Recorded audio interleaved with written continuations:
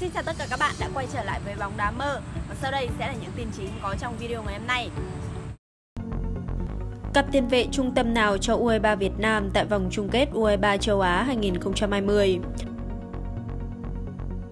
Tiến Linh cười nhạt khi nghe Messi Thái lấy tiền bao biện. Năm mục tiêu quan trọng mà bóng đá Việt Nam cần chinh phục trong năm 2020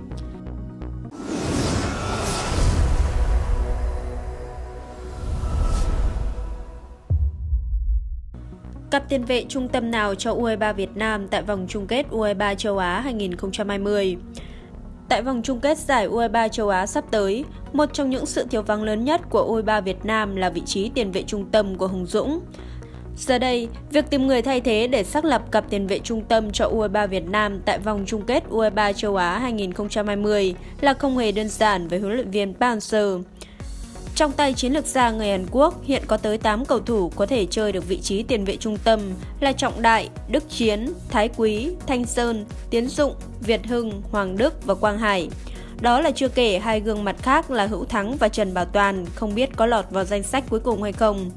Xét về thâm niên ở các giải đấu lớn, Trọng Đại và Quang Hải là những người giàu kinh nghiệm nhất bởi cả hai đều đã từng tham dự vòng chung kết U23 châu Á 2018 và vòng chung kết U20 Thế giới 2017.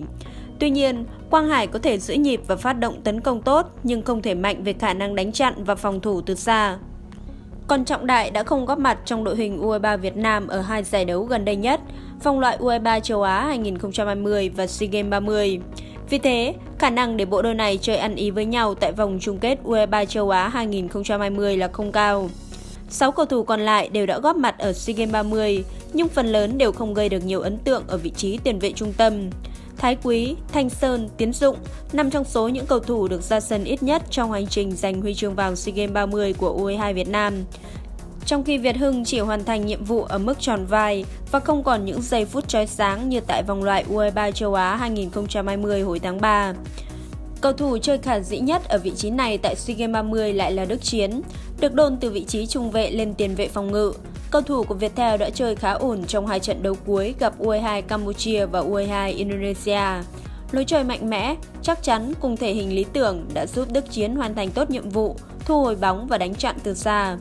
Rất có thể Đức Chiến sẽ trở thành một trong hai tiền vệ trung tâm chính thức của U23 Việt Nam tại giải đấu châu lục sắp tới. Vị trí còn lại nhiều khả năng sẽ là Hoàng Đức, nhằm hỗ trợ cho Quang Hải trong vai hậu công cho cặp Tiến Linh và Đức Trinh. Xem ra bài toán vắng Hùng Dũng sẽ được ông Park sử dụng cả Hoàng Đức lẫn Quang Hải cùng với Đức Chiến ở vai trò tiền vệ trung tâm nhằm tạo sức bật cho U23 Việt Nam tại vòng chung kết giải U23 châu Á sắp tới. Tiến Linh cười nhạt khi nghe Messi Thái lấy tiền bao biện.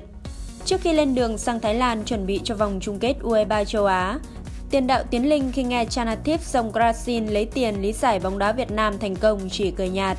Suốt hai năm qua, truyền thông Thái Lan rất khổ, tìm mãi vẫn không ra lý do hợp lý bào biện cho những thất bại toàn diện trên mọi cấp độ trước bóng đá Việt Nam. Từ đội tuyển đến U23 Việt Nam, nơi Tiến Linh lập cú đúp, khiến Thái Lan chia tay SEA Games 30 sớm.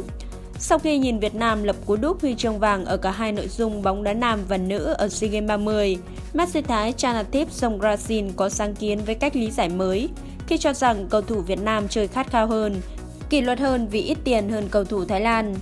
Ở Việt Nam, chính bởi mức thu nhập không cao so với mặt bằng chung của chúng ta khiến các cầu thủ luôn thi đấu bằng trái tim mạnh mẽ, khát khao và kỷ luật. Bởi vậy, tôi muốn cầu thủ phải không ngừng cải thiện bản thân, chuyên nghiệp và thể hiện khát khao lớn hơn. Tiền vệ đang khoác áo câu lạc bộ Consadale Sapporo phát biểu. Tiền thưởng luôn là thứ được nhắc đến rất nhiều trước mỗi lần đội tuyển Thái Lan tập trung cho những giải đấu lớn. Mới nhất, khi thoát được cảnh bị AFC tước quyền đăng cai vòng chung kết U23 châu Á, Chủ tịch Liên đoàn bóng đá Thái Lan Samjot Ponpan Maung sau khi nói về màu cờ sắc áo lập tức hứa thưởng to. Đây là thời điểm để chứng tỏ bản thân và sự tự hào khi đại diện cho quốc gia. Các cầu thủ trong tương lai sẽ phải cố gắng trở thành nền tảng của tuyển quốc gia, nên phải tuân theo những chỉ đạo của huấn luyện viên. Đặc biệt, đội bóng phải luôn giữ được tính kỷ luật, liên đoàn luôn sẵn sàng hỗ trợ mọi thứ. Nếu thành tích tốt và có thể đoạt vé dự Olympic Tokyo 2020, Liên đoàn bóng đá Thái Lan chắc chắn sẽ có một khoản thưởng lớn. SEA Games vừa qua, U22 Thái Lan cũng được hứa cho thưởng to nhưng bị loại từ vòng bảng trong khi tuyển nữ và U22 Việt Nam không được trao thưởng, đã cùng nhau tạo ra hành trình vô địch cực kỳ thuyết phục.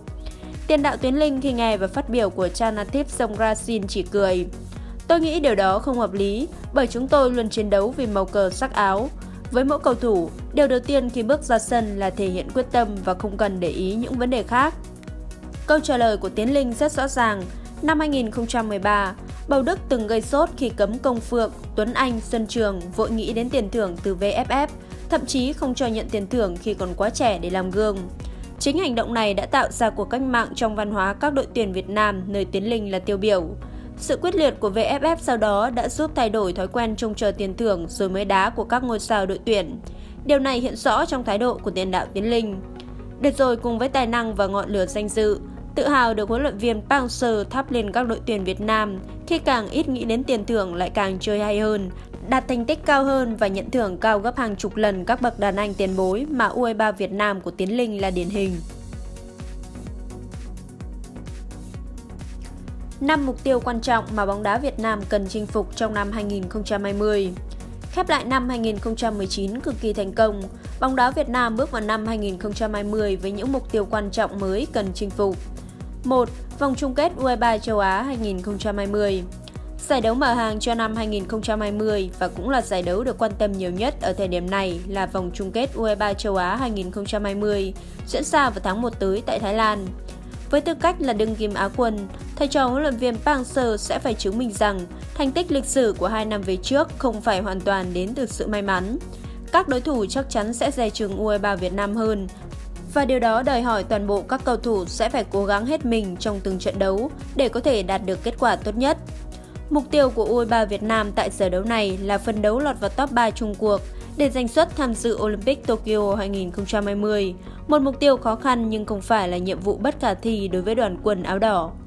2. Vòng loại World Cup 2022 khu vực châu Á Đội tuyển Việt Nam khép lại năm 2019 với vị trí dẫn đầu bảng G sau 5 lượt đấu. Kết quả này mang đến lợi thế nhất định cho thầy trò huấn luyện viên Park Hang-seo trước khi vòng loại thứ hai World Cup 2022 khu vực châu Á quay trở lại vào tháng 3 năm 2020. Những trận đấu còn lại của tuyển Việt Nam ở bảng G sẽ bắt đầu bằng chuyến hành quân đến trào lửa Pakistan để làm khách trước Malaysia vào ngày 31 tháng 3. Sau đó, các cầu thủ sẽ quay trở lại sân Mỹ Đình, đón tiếp Indonesia trước khi khép lại bảng G vòng loại World Cup 2022 bằng chuyến làm khách trên sân của UAE vào ngày 9 tháng 6. Một hành trình được dự báo là đầy thử thách trông gai đối với thầy trò huấn luyện viên Park Hang-seo. Tuy nhiên, nếu duy trì được phong độ như trong năm 2019, thì chúng ta hoàn toàn có quyền nghĩ tới việc lần đầu tiên trong lịch sử lọt vào vòng loại thứ ba.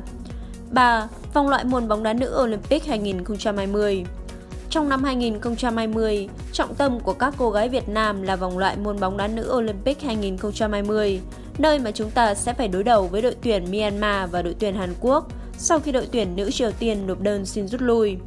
Nhiệm vụ đặt ra cho thầy trò huấn luyện viên Mai Đức Trung là phải thắng được đội tuyển Myanmar để giành một trong hai vị trí đầu bảng. Tuy nhiên, để giành được tấm vé dự Thế vận hội 2020, các cô gái Việt Nam sau đó còn phải giành chiến thắng trong trận playoff với đội nhất hoặc nhì bảng B. Nhiều khả năng sẽ là Úc hoặc Trung Quốc. Rất khó khăn nhưng với tài thao lược của huấn luyện viên Mai Đức Trung, các cô gái Việt Nam không phải là không có cơ hội để góp mặt tại Tokyo mùa hè năm sau. 4. Vòng chung kết U19 châu Á 2020 Giải đấu châu lục ở cấp độ U19 tại Uzbekistan sẽ là dịp để lứa đàn em của những Quang Hải, Văn Hậu, Hoàng Đức thể hiện tài năng và trình độ của mình. Huấn luyện viên mới của U19 Việt Nam, ông Philippe Chaussier được kỳ vọng sẽ mang đến một làn gió mới cho U19 Việt Nam sau những trận đấu đáng quên dưới thời huấn luyện viên Hoàng Anh Tuấn. Nhiệm vụ đặt ra cho đoàn quân của huấn luyện viên Chaussier là vượt qua được vòng bảng và xa hơn là lặp lại kỳ tích của năm 2016, lọt vào bán kết và giành quyền tham dự vòng chung kết U20 thế giới. 5. AFF Cup 2020 Giải đấu lớn cuối cùng trong năm 2020 của đội tuyển Việt Nam chính là AFF Cup, giải đấu mà đội tuyển Việt Nam đang là đương kim vô địch. Trong bối cảnh sự chênh lệch về trình độ giữa các nền bóng đá trong khu vực Đông Nam Á đã không còn lớn như trước đây, việc giành chiến thắng trước các đối thủ trong khu vực này càng trở nên khó khăn hơn.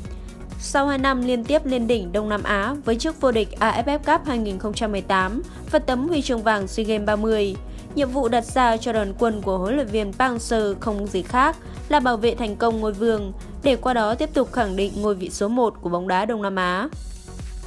Video của mình đến đây là kết thúc rồi. Cảm ơn các bạn đã chú ý đón xem và đừng quên hãy nhấn like và subscribe kênh để ủng hộ cho mình nhé. Tạm biệt và hẹn gặp lại.